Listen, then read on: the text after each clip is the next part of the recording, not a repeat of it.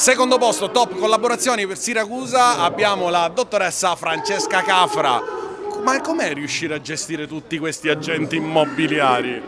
No, devo dire che la collaborazione su Siracusa è veramente interessante. Eh, I miei colleghi sono molto collaborativi, infatti questo secondo posto lo dedico a loro eh, proprio perché mi sono trovata abbastanza bene, collaborare per me è efficace, effettivamente eh, quando la collaborazione è in sintonia è veramente fantastico. Meraviglioso, grazie ancora Grazie. Fra.